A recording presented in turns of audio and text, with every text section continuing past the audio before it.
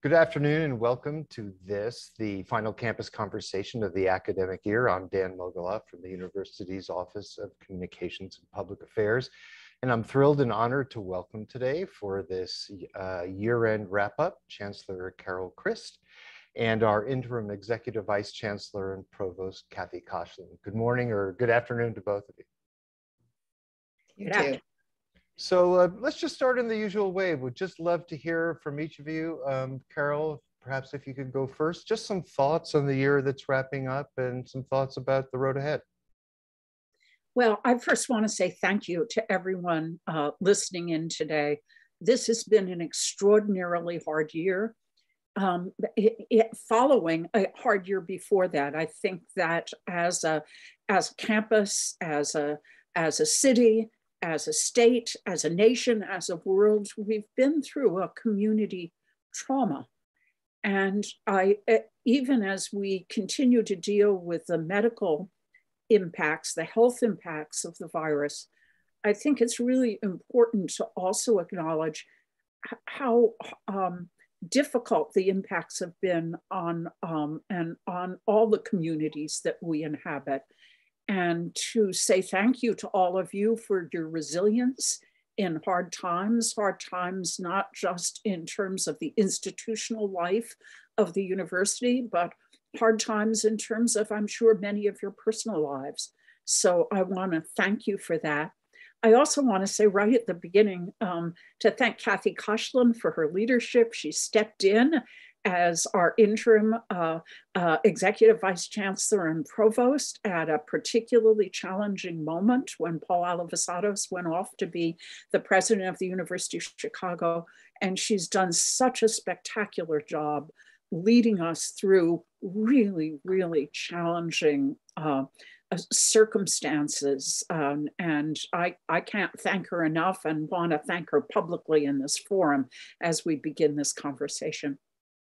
Um, super. Cathy, before I turn to you, I've uh, neglected to mention that we would love to take your questions for all who are watching and with us today. All you need to do is post them to UC Berkeley's Facebook page on the Facebook Live site, um, and we will do our best to get to all of your questions.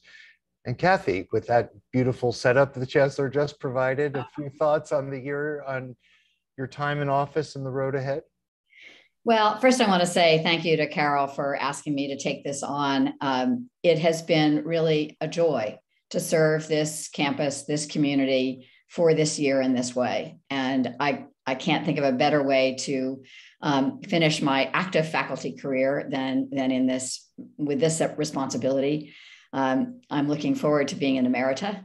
Um, and so that's the road ahead. Um, but I plan to be an active emerita, so I, I will be around.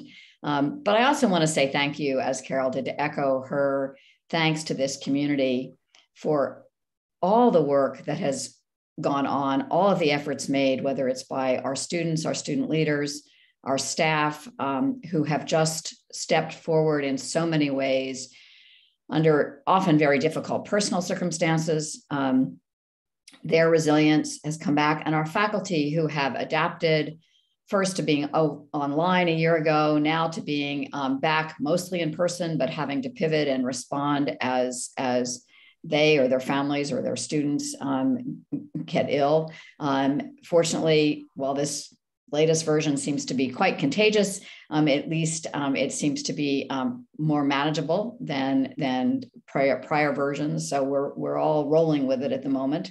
Um, but again, I just I want to say thank you to this community for um, their support of of me throughout this year and their um, efforts as as Carol and I have navigated um, the challenges that have been have presented themselves to us um, even recently. Yeah. So I want to drill down with both of you a little bit on the workplace issues. We have um, as far as we can tell, largely a staff audience for these campus conversation events. So, Carol, let me ask you a little bit more about what you're hearing and what advice you have um, for how people can sort of take care of themselves and take care of their colleagues and take care of the people who report to them. I have really two pieces of advice. First, let me preface this by saying I still think we're figuring out what the post pandemic workplace looks like. And we've discovered that some work, but not all work, can be done effectively um, remotely. And what that balance is going to be for particular individuals and particular jobs, we're still working out. I mean, because we are fundamentally an in person institution, that we teach students in person, that we interact with our colleagues, um, we interact with our students in person. That, that I think one of the things the pandemic has taught us is how important face to face learning is for the very business of the university. That said, we probably can have much more elasticity of place in the workplace that will enable all of us to um, to, to, to, to better um, to better balance our, our, our lives. I want to say two things in regard to your question, Dan, that seem as if there, there there's a slight tension between them. I at first think it's so important for everyone to take the time that you need for rest, for relaxation, for the pursuits outside of work that you love, for friends, for family. Um, I used to joke a lot that we have come to live in a 7 Eleven world in which people expect us to be available 7 to 11 all the time. And I think it's important to um, put boundaries around your work so that you can lead the full life that we all desire. That said, I think it's also important to make the commitment to be in community. There is, as I said in my introductory remarks, there are lots of ways the community has suffered uh, during the pandemic, all the communities that we're parts of. And we're going to have to be quite purposeful in the rebuilding of community. And that means being there when other people are there. Uh, that it is, at least in my experience, hard to rebuild a community um, remotely. And, um, and so personal presence is going to be important, not only for some of the activities that are the very core of our mission, but it's important for rebuilding the community that we all value. Cathy, let me sort of uh, pose the same question. Maybe if you could talk in particular about what you're hearing from from faculty, from the academic as opposed to the administrative side of the house as well. That's a good question, um, Dan, because I think faculty actually have always enjoyed um, a great flexibility in their in their work lives. They can spend the morning in their home office and come into campus to teach and and go to their labs or some faculty who are in their lab six days a week. I mean it's an enormous range of flexibility that faculty have. I think where they run into challenges are two are twofold. One how do they ensure that they have the, the community? So things like phd seminars or other weekly events that bring everyone to campus become important for those academic communities but then there's also the need to really make sure that students, whether it's undergraduates or graduate students, really have a sense of a they're there, that they don't walk into, um, you know, a department um, suite and find, you know, no one present.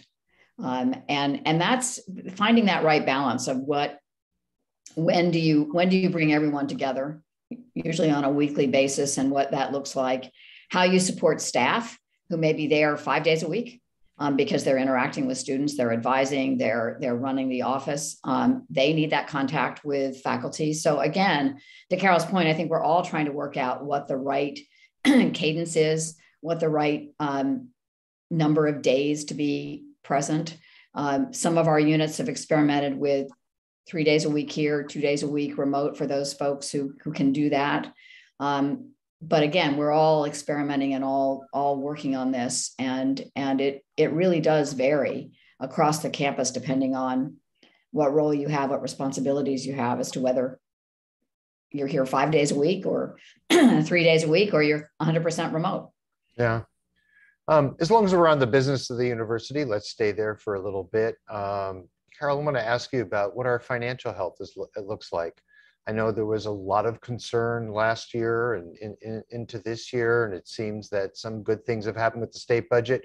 But I think it remains a little unclear to a lot of people about exactly what our status is right now in terms of financial health.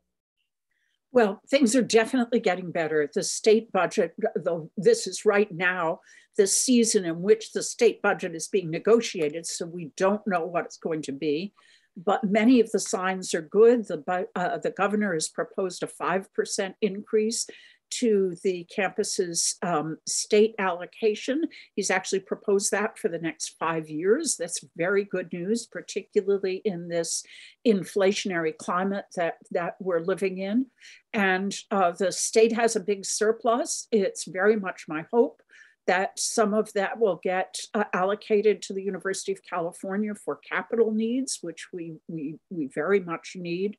Um, and the state is also committed to uh, uh, funding the additional enrollment that it would like to see us take on. So, um, so the, the, the, the, news on the state front is good. Uh, th that said, we're still in a challenging fiscal situation. Um, the fact of the matter is that the money that we get from the state does not adequately fund the cost of the education that we offer.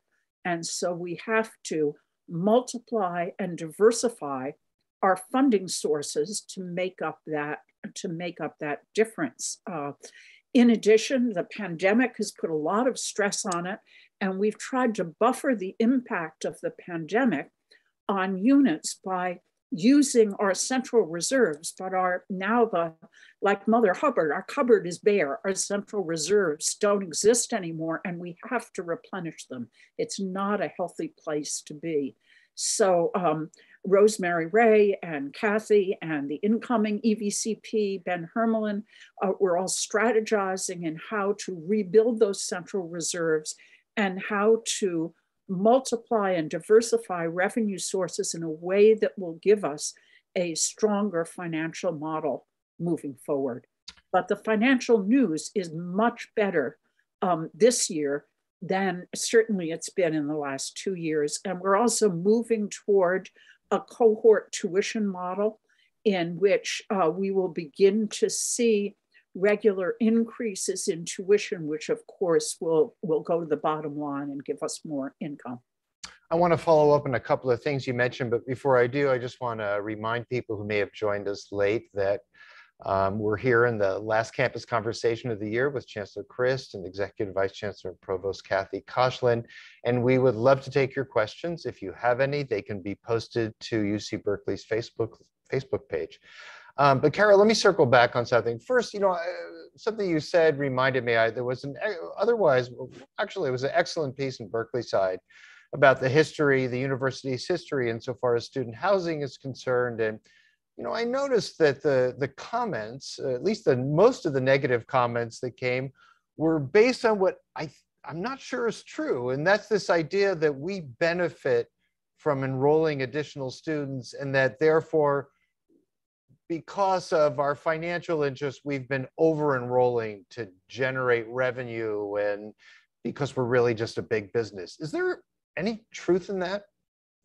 I no, that's really a mistaken and oversimplified view of what happens. Um, first of all, I should say, you know, bottom line, we're in the enrollment business, but the amount of money that we get from the combination of the state allocation for um, uh, uh, per, per student and the tuition that in-state students pay does not cover the cost of education. There's a deficit of about $15,000 per student, and that wow. has to be made up um, by other sources of funding. It's one of the reasons that out-of-state students are so important to our financial model. They subsidize the cost of education for in-state students. So though it is true that we get additional money for every student that we enroll, that money that the state gives us per student when combined with the cost of the um, of the, the or the the tuition that the student pays does not cover uh, the cost of, of education. The pressure to increase enrollment is not coming from the campus, it's coming from the state. One of the pieces of uh, it's it's good news, but there's kind of dark lining in this good news. We had almost 150,000 applications for places in Berkeley's freshman and transfer classes this year. That means that the demand is enormous. As one member of the legislature told me, um, I'm afraid to go to the supermarket after you send out your letters because um, so many people are disappointed with their brilliant son, daughter, grandson, granddaughter, nephew, niece not getting into Berkeley um, we deny so many um, really, really able, worthy students. And so um, the, the pressure to increase enrollment is coming from um, student demand for Berkeley and from the legislature, not from um, our desire to make money. Um, I'm going to come back to you in a second, but I want to, um, I want to talk about the capital budget. Before I do, just something you said reminded me. I wanted to ask Cathy about faculty hires. We've been talking about the workplace and talking about um, budget and things like that. How has that impacted our faculty hires? Are we hiring more faculty? What's going on on that front, Cathy? The, the good news is that we are um, uh, actively hiring faculty. Uh, the pressure for retaining faculty is maybe amped up a little bit from some of our most competitive um, peers, but we do very well at retaining them. And we will, we are in the middle of deciding how many faculty searches we will authorize for next year, but it will be around 70. And that's a healthy number for um, accommodating retirements or departures. Um, so we're excited about that possibility, working closely with the academic senate on, on finalizing that number and, and deciding where those, those allocations um, are going. But we've had a very healthy, uh, in reviewing the cases, there's just some spectacular new faculty joining us. Um, we met some of them last night at a reception, just, uh, just amazing group of, of folks who have joined us in the last two years and we're excited about the ones that we're seeing. And as I'm looking at cases of faculty being promoted, they're just amazing colleagues doing doing work that is so essential for our communities, um, whether it's in the social sciences, the arts, the sciences, engineering, business law. Um, incredible. So I'm I'm excited. I, I, I this is one of the best possible places to be in terms of your your intellectual colleagues and and um, as Carol has often said, history is made here every day, and that that is just so true when you when you talk to them and read their files and and understand um, where they're taking their work, their students. So I think we're in a good place. Very good that's fabulous news. And I want to now, Carol, circle back and, and pick up a little bit about the, you, you mentioned the capital budget. Um, maybe just explain a little bit what that is and why that's a particular concern or a particular priority at the moment. Now, when we talk about budgets, we talk about the operating budget, which is what pays people's salaries, what, um, what really runs the university. The capital budget is the budget for construction whether that's deferred maintenance or renovation of buildings or um, constructing new buildings. And Rosemarie Rae has frequently said to me, I'm, excuse me, absolutely confident that I can solve the operating budget problem of the campus. I cannot solve the capital budget problem. We used to have bond issues about every two years that were our main source of general obligation bonds passed by the voters that were our main source of funding for uh, capital construction. We haven't had a bond issue since 2006, so that we're increasingly reliant on long term debt and on philanthropy and have um, much, much um, lower amounts of state funding for capital uh, construction. This is a huge problem for the Berkeley campus because we have a, um, the seismic reinforcement of our buildings alone is about $5.4 billion in seismic work. Wow. that we have to do. In addition, so many of our laboratories are in poor shape, um, hard to do cutting edge science in those laboratories. Uh, um, uh, uh, Doug Clark, who's the dean of the College of Chemistry, has taken me on the Dr. Frankenstein's laboratory tour of chemistry building. I mean, it's just we we we really need capital dollars, and it's a it's it's a it's the most serious um, structural problem that we're facing in regard to our budget. Wow. Um, you know, speaking of infrastructure, Cathy, uh, perhaps this is a good point to give us a little update about the Moffett Field project. I think there's still a number of people who are unfamiliar with what its possible contours are. A little introduction and maybe also just address how can we be pursuing something like that while at the same time facing these challenges closer to home in terms of capital and infrastructure um, financing? That's a that's a great question, um, Dan. So Moffett Field, which is down near um, uh, Mountain View on the peninsula, um, is a NASA um, facility that we have partnered with with private developers to um, develop a site that's I think about 38 acres um, for collaborative research in aerospace, space science, transportation via the air, any number of possibly things like astrobiology, a whole range of intellectual um, endeavors um, where we can partner with, with NASA, um, but also take advantage of a location that is surrounded by many of the high tech companies with whom we already have some active collaborations. And so the possibilities for um, not just research, but um, graduate experiences, um, internships for undergraduates, uh, opportunities to work with companies create startups and incubators on that site. Um, it'll take about four or five years to get the facilities um, built. In the meantime, we're working on what the academic program is, uh, working out all the details of the um, financing for that site. Um, but it, it's it's a very different project than, say, needing to build a new building, a, a chemistry building on the campus. It's it's it's fundamentally different, and it's it's a it's an opportunity that Rose has been particularly engaged in, and and Carol, um, working as I said with with our our, our private partners and with the, the academic leadership um, that's associated with the project. So it offers us. This is another place where potentially, when we talk about enrollment growth and enrollment pressures, if we were to say in the long run have a thousand students at Moffett, well, that's a thousand students that more that we could have on the on the core campus. So we're looking at opportunities where it makes sense for us to think about satellite locations, not just for research, but also potentially for um, education.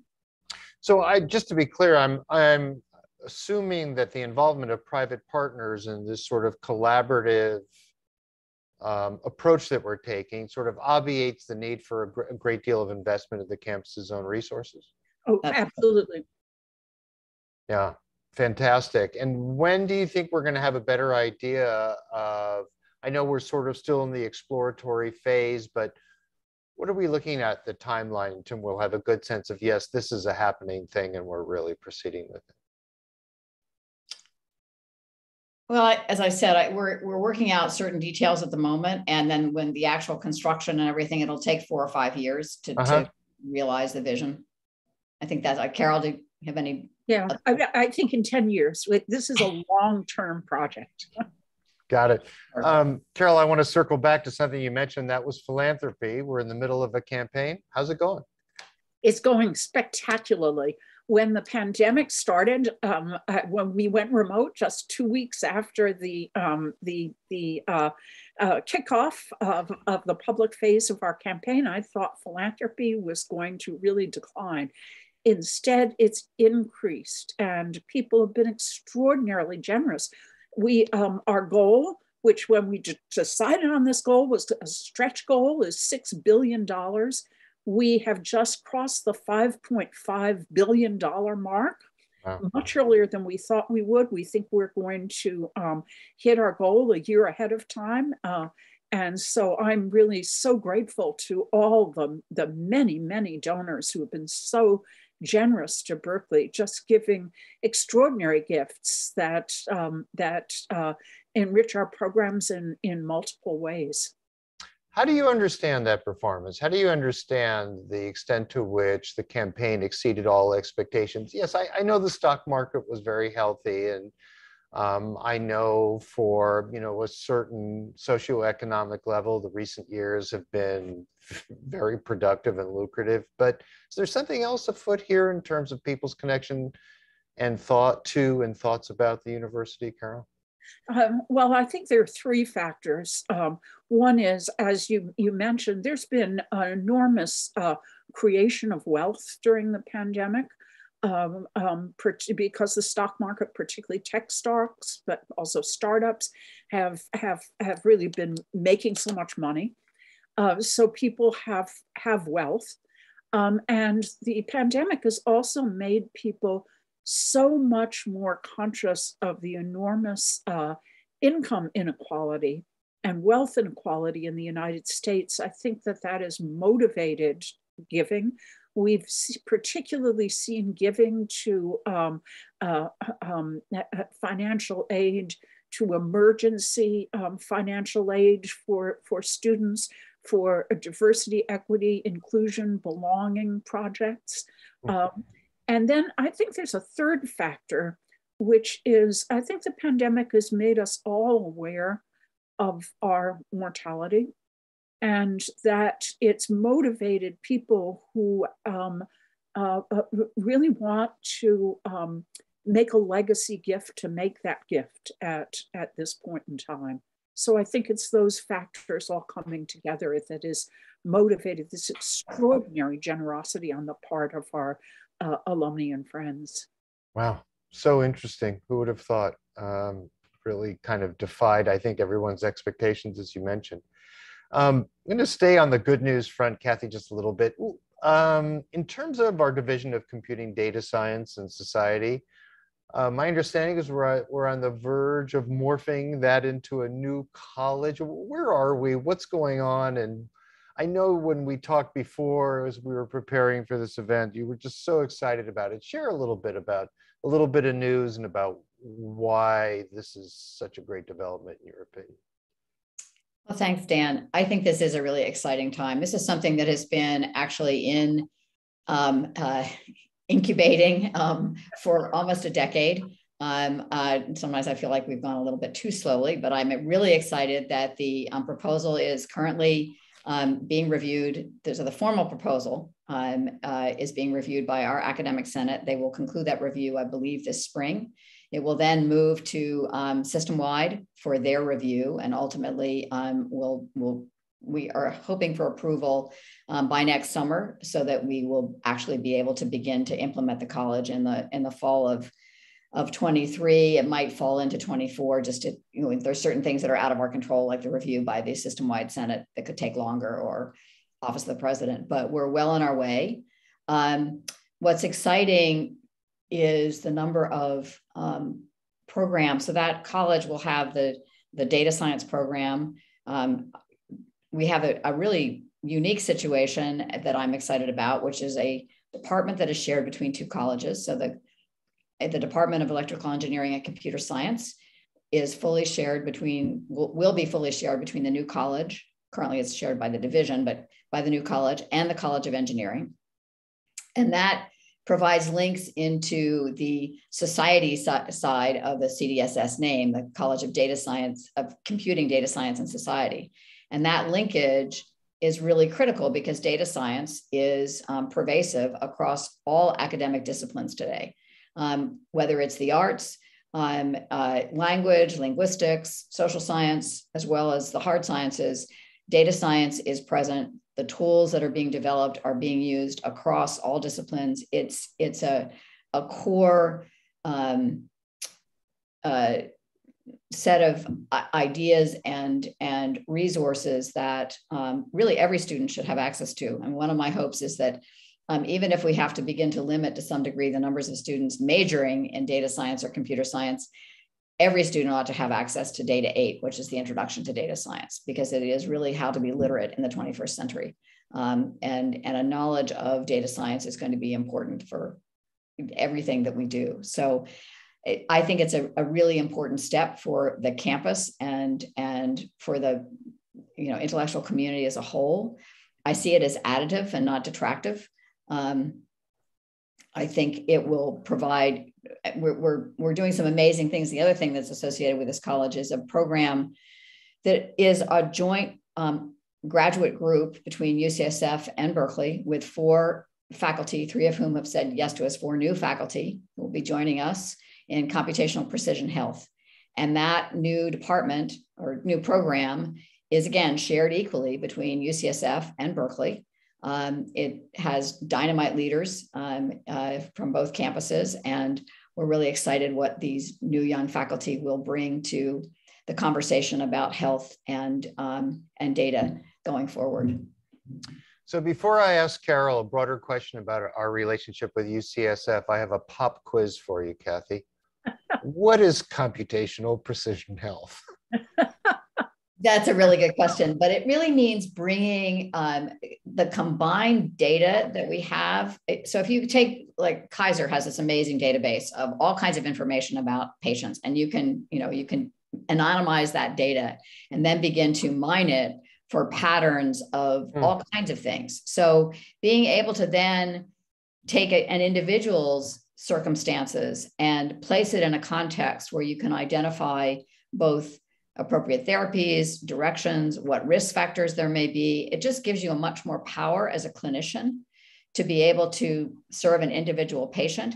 It also gives power to the public health community who looks at population health and begin to see patterns and discern things that are going on. Something that epidemiologists and biostatisticians have been doing forever, but this there, there are more powerful tools and algorithms that you can begin to use to really interrogate the information. And then there's sub factors when you look at information around, um, you know, genetics and being under being under what's the relationship between a particular genetic profile and a disease profile, um, and when is something um, predictive of risk. Um, it's always just predictive of risk. It's not a guarantee that you will end up getting that illness or whatever. But it, you know, again, those kinds of information become really powerful tools in, in being able to um, you know, create a healthy individual and healthy communities. No surprise, you nailed the pop quiz. Okay, just checking. um, Carol, talk to us a little bit about, uh, on a broader level, what's happening in that relationship between UC Berkeley and UCSF. It, it seems like it really has substantively changed in recent years. Well, I think both UCSF and Berkeley have realized that the other campus has something that they very much need. Um, uh, for um, from uh, Berkeley's point of view, many of our faculty want to be closer to a medical school hmm. and want to have access to uh, doing clinical trials, um, work with medical um, applications that, that they're doing.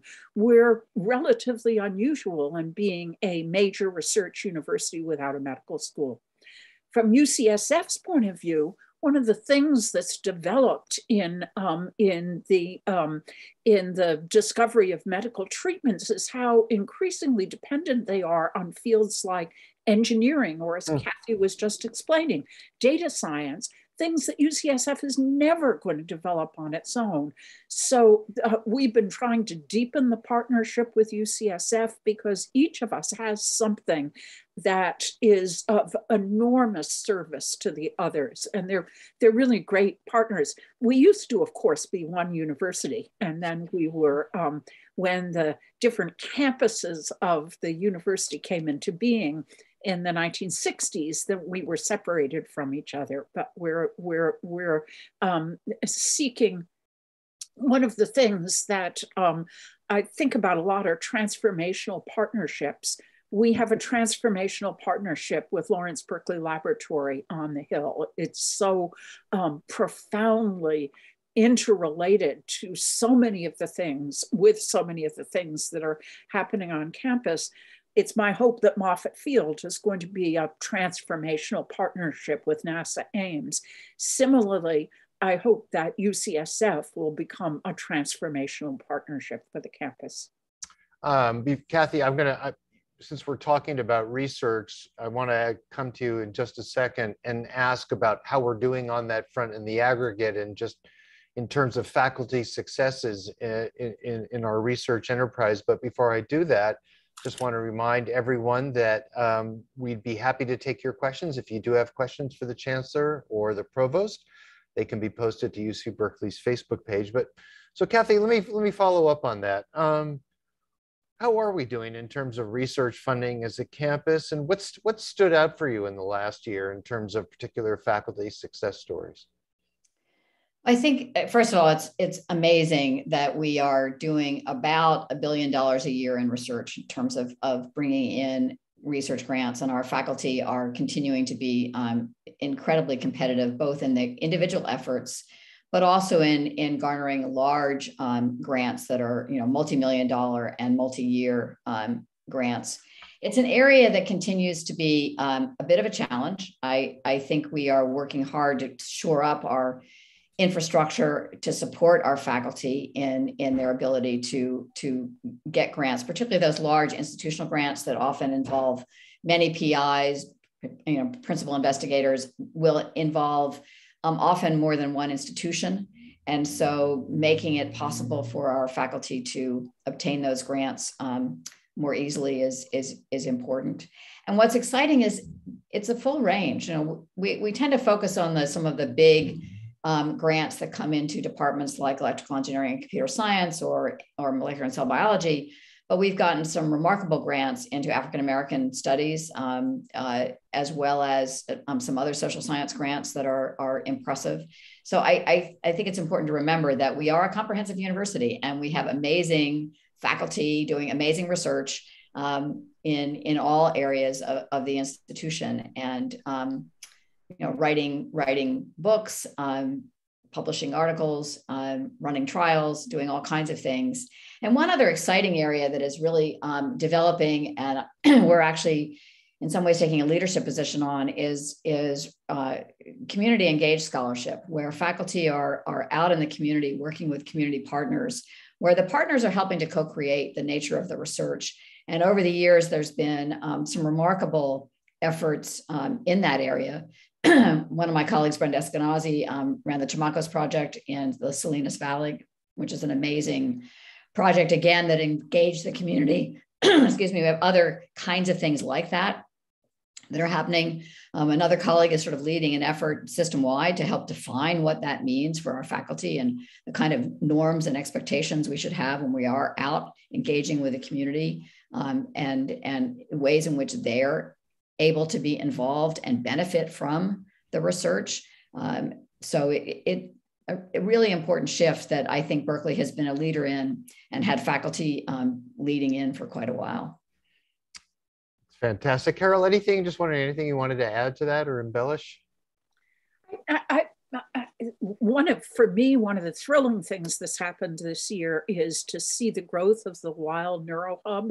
Uh, that is a wonderful gift that went jointly talking about the UCSF Berkeley partnership jointly to Berkeley, UCSF, and the University of Washington to study the um, uh, the, the, the biological bases of uh, neurodegenerative diseases and um, therapeutic interventions that might um, that might uh, help um, lessen their their their their impacts and um, and that, that the research has just been thrilling. There's so many things that are going on in this campus that are really so it's it's as um, Cathy was saying before making history every day. So speaking of so many things going on in this campus, it's it, it's almost it takes me aback that this that this is an issue that I wanted to ask you about, and people suggested, and it has to do with the electric microgrid, which reminds me we're not just a comprehensive university, we're like a, a city. So what what is it? What is the electric microgrid, and what are we talking about, and why do we care about that? Well, it, the, the electromicrogrid is, um, is the way in which we're going to achieve a total electrification of the campus. Mm. Currently, we have a cogeneration plant that is on its last legs. It only has about 10 years of life. And it's a combination of, um, it uses uh, uh, uh, both natural gas and electricity. We want to move away from natural gas, which is the environmentally responsible thing to do, and move to complete electrification. And we're going to do this by having our own electric microgrid um, uh, on campus. Uh, it, the center of the grid is going to be uh, underneath Northfield. That's the field that's right between the music library and um, the Hearst Gym.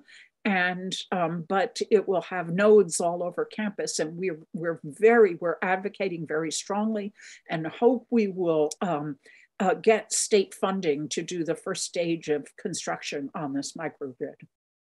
Let's stick with the construction theme a little bit more. I know we're bouncing all over the place, but it's just a sign of how many pots we have our fingers in at UC Berkeley. And that's about housing. Carol, can you give us a little update about where things stand with housing in general, student housing, mm-hmm. and People's Park, and the Anchor House project in particular? I'm delighted. First of all, we opened one um, housing project which was built for us and then gifted to us. It's called the Intersection. It's in Emeryville. It's graduate student apartments. So that um, apartment house is now operating. Anybody that drives down Oxford Street can see a great big hole um, on between uh, Oxford and Shattuck and University Avenue and Berkeley Way. That's going to be the site of Anchor House. Uh, it's a residence hall for transfer students. It's going to be spectacular when it's finished. And that, um, that uh, uh residence hall is um, going to be built for us and then gifted to us by the donors and um, and uh, it'll be the biggest gift ever in Berkeley's history.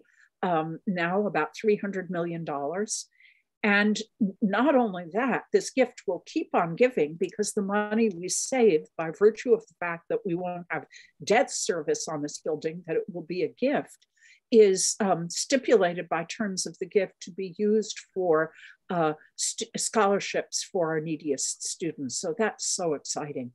And then two more housing projects, they're in process. One is People's Park, uh, where we hope to begin construction at some point this summer. Um, a, a, key to um, People's Park is it's a it's really a four point project. Um, it has the um, the residence hall, which will be apartments for upperclassmen, upper class students. Uh, there will be about 125 apartments, about 185 beds that'll be permanent, supportive housing for the homeless. Um, that supportive means that there'll be services that um, that uh, uh will be formerly unhoused people um, use and need in the building itself. And then about 60% will be a park. Um, so the three parts of the park, the residence hall, and the um, uh, supportive, permanent supportive housing for the homeless. The fourth part is um, that we will offer housing to anyone currently camping in the park. Um, we have reached an agreement with the Rodeway Inn, that's a motel on University Avenue, jointly with the city. And we will be offering housing at the Rodeway Inn starting, I think, fairly soon to unhoused individuals in the park. So our commitment is to offer housing to everyone in the park. Um, I think many people probably know that since I've begun as chancellor, uh, we have a social worker that's on our payroll who works with the unhoused population in People's Park and also um, around the campus. And that person, Ari Neulight, has um, offered housing, has successfully housed about 100 people in wow. the years that he's been working for us. And we intend to continue that commitment. You know, one, one other thing, and Cathy, I, we have a couple of interesting questions that have come in from folks who are watching about CDSS that I'm going to come back to you. But before I do, um, Carol, one of the things that a lot of people who've lived in Berkeley for a long time have noted, and in particular after the joint press conference you held in March with the mayor um, about this partnership to help provide transitional housing and supportive service, services to the unhoused people currently in People's Park was the nature of the town gown relationship. Um, it really seems to have changed and solidified in some pretty amazing ways, or not. How do you see it from where you sit? Well, I see a good town gown relationship is absolutely essential to both the city and to Berkeley. Um, I, have been a, a, resident of the city of Berkeley since I started here as a faculty member in 1970, with the exception of my, my years at Smith College. I love the city of Berkeley. Um, many of our faculty, many of our staff, many of our students live in Berkeley, and the university defines the city. It mm. is its most important um, feature. It gives character to the city. So having a good working relationship with the city is a very important priority um, for me. It's something I've worked hard on, and I feel so fortunate in having a great partner in Mayor Arreguín and also members of the City Council. Uh, Rigel Robinson, for example, one of our council members, was an ASUC external vice, uh, uh, um, vice external affairs vice president when he was a student, and then ran for a city council seat. Yeah, so it sounds like it's really on one of the best foundations in many years. I mean, is, would that be an accurate takeaway? Um, I, I, it's certainly on a very good foundation. Got it. Um, Cathy, question for you, follow up question from um, staff member or maybe faculty members watching. They said they had a, uh, this is about the plan for having a separate school for data science. And the question is, why isn't Berkeley planning to have a similar school for computer science? Also, as many of the departments depend on computer science as well, and many other universities created a separate school or are planning to have a separate school of computer science, why not have two that to sort of separate them out, computer and data sciences? That's an interesting question. I think the reality is is that that they are very um, intertwined and interdependent. Um, it's one of the reasons that the Department of Electrical Engineering and Computer Science is actually joint between the College of Engineering and, and the anticipated new college, um, because there are there are faculty who are largely computer scientists, there are faculty who are electrical engineers, and then there's a group of faculty who are really kind of in the middle, bringing those two sides together. And, and then you have faculty who are very engaged in the computer science, data science overlap and have contributed. So, for example, in the teaching of our data science courses, the responsibility for that curriculum has been shared between our Department of Statistics and faculty in computer science. So it, it's it's one where where rather than creating more silos, we're actually trying to create ways in which we have more interdisciplinarity, where where we share um, those where those interests are shared, and where where we have you want to bring the research together in ways that's synergetic. You want to bring the students experience together in ways that that allow them to really develop skills both in computer science and data science. And so the the data science major has certain requirements that are shared with the computer science major and then there are very different aspects of it as well so you know again it's it's more um, to not be rigidly separate and distinct but rather to bring folks together in in creative ways Got it. Um, we only have a few minutes left, so I want to kind of move towards some wrap-up questions. And something that came in from the audience is is perfect in that vein, in that context. And I want to pose it to each of you. Um, this person said, first of all, thank you to both of you for your service to the campus, and ask, where do you see the campus in the next year? Where do you see the campus in the next five years? Cathy, let me stick with you on that. Where do you see us headed in the next year to five years? That's a great question, Dan. Um, I'll say there's a couple things. Um, one that we haven't really touched on today, um, and one that you know Carol and Ben will be working on is working on our um, financial sustainability and and thinking about how we actually um, have the resources to carry out the work that we want to do. So that's going to be a big lift. It will take a few years. We've made a, a, a, beginning to that conversation this year. Didn't get as far as we wanted because of things like the enrollment crisis that happened in February that slowed down our, our work on financial sustainability. It's an area where we've had a great partnership with the Academic Senate.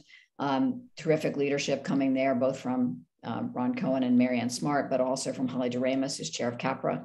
So we've had a very productive beginning. Uh, did a lot of information sharing around that. So that's a really key area for us to, to for us to do all the things that we would like to do. That's an area where we're going to have to really work hard to to make sure we're our our financial um, house is in order. The second thing that I think is really exciting is we've embarked on on even more conversations around undergraduate education. This is an area that I've spent obviously a lot of time on in my in my years as, as a leader and I'm excited with the work that um, the Discovery Initiative is undertaking leadership from from Bree Rosenblum, um, and certainly, um, you know, shout out to our interim um, Vice Provost for Undergraduate Education, Oliver O'Reilly, for picking up and, and really moving some things forward this year in that space. Um, there's some really exciting collaboration between uh, the various college deans around the, the undergraduate experience. I think we have a focus on that that, that is stronger than we've ever had. Um, we've also made some, some I think, remarkable um, headway on, uh, for example, having a differentiated um, self-help financial aid issue where we're actually have a lower self-help for um, first-year students than for continuing students. And that was something that that many of our private peers have done for years, partly because your earning power increases as you mature as a, as a, as a student. So that's an important area because it means less pressure on our first year students to have to earn that many more hours of work to earn money if, because they, they have a better financial situation. So that that combined with our efforts in discovery and the opportunity for students to really engage in what it means to be part of a research university, I think is really, really exciting.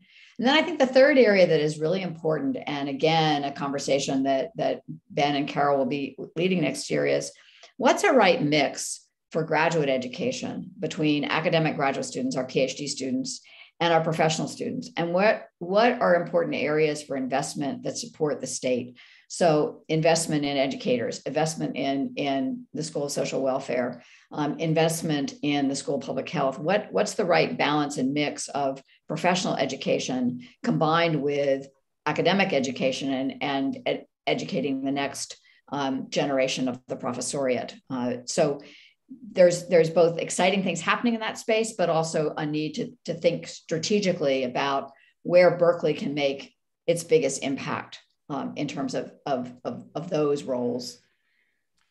Carol, same question for you. Where do you see the university, or, or perhaps where do you hope the university will be five years from now? Oh, five years from now, I think it's a term that I've used before in this um, this this uh, interview, this conversation. It, it, I think we're going to um, see more what I call elasticity of place. I think we're going to have much more of an investment in online opportunities for learning, whether those are completely remote programs or just programs that allow students to take an internship or study abroad while still making progress in on some of their required courses uh, on the campus. So I, I think that we're even as next year we're going to be returning to the sense of place that so much defines the university in, um, in this society. I think we're going to be creating the resources that allow for more elasticity in place, whether that's satellite campuses or remote learning.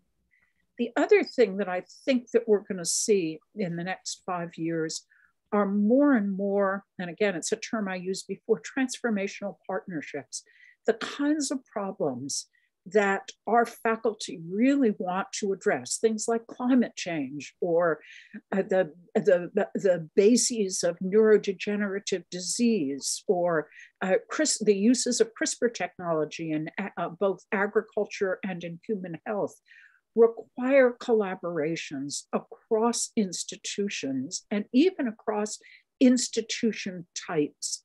One of the exciting things that's happened just in the last week has been the opening of the Bakar BioEnginuity Hub, um, which is an incubator, an accelerator for startups.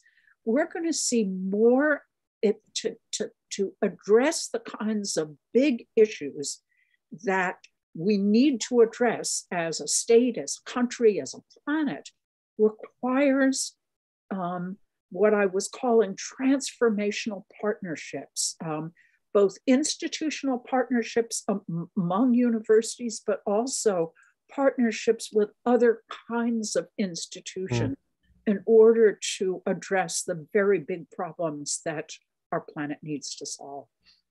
So we only have a few minutes, and with all that exciting stuff, Cathy, going on, I can only ask, how the heck is it that you're leaving us?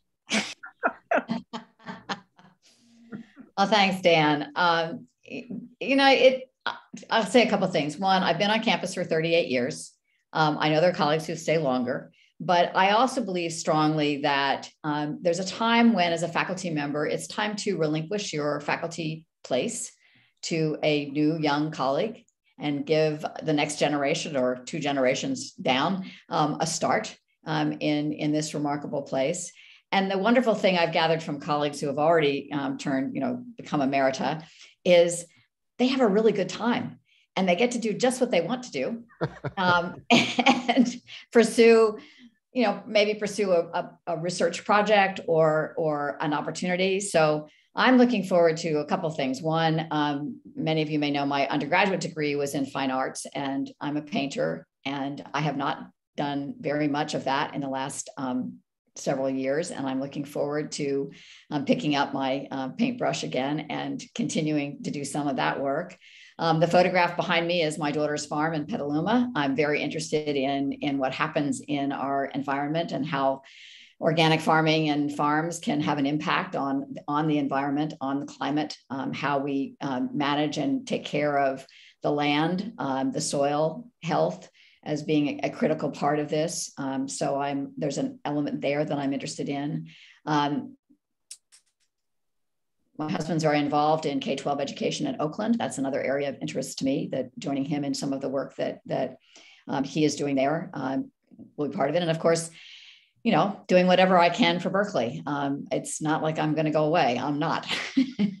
I'm just changing um, the nature of my my relationship to the campus. So, and it's been so rewarding to be a faculty member here. So rewarding to be able to have leadership roles, whether it's having been chair of the academic senate, um, being involved in in various positions as a vice provost or vice chancellor, and culminating this year with with this role. It's just it's been amazing. I I couldn't be more thankful um, and more grateful um, for the chance. Yeah, I just want to say personally, it's been a thrill and an honor to work work with and for you over the years, um, and I know you'll be missed. I won't even start to go down that trail other than to say that. Um, I know there'll be opportunity in this long goodbye for more of that. Um, but Carol, let me just turn to you just for a few closing thoughts as we end the academic year and Cathy ends her tenure and we look forward to the year ahead. Well, I, I want to end with, as I began with thanks. Thanks to everyone who's part of the Cal community, everyone who's listening and watching today. Thank you for all of your efforts to support the campus in in circumstances that have been trying. And I want to give a special shout out and thanks to Cathy, who has just been a wonderful, wonderful partner in this last uh, challenging year. And, and finally, I mean, graduation is, um, I think everybody who lives in universities really loves the rhythm of the new students arriving in the fall and then graduation with its whoops and cheers and tears at the end of it. And this, I understand, is the biggest graduation ever. And I think we have so much to celebrate in the resilience of this community. Um, the students have done so much. If you think of these students graduating this year, um, a, a, year and a half of, if they've been here four years, um, uh, have been remote. and then they've come back and they've reopened the campus and just the the, the just enormous resilience strength creativity that's perpetually in our students but we've seen particularly this year is something to really celebrate so we can all say fiat lux and go bears Yep, can't end better than that. Uh, Fiat Lux and Go Bears, indeed. Um, Cathy and Carol, I want to thank both of you for your time and, and generosity with of thought, and thank everybody for joining us for this last campus conversation. Um, we'll look forward to seeing you next fall, and uh, have a good day, a good week. Take care. And bye bye.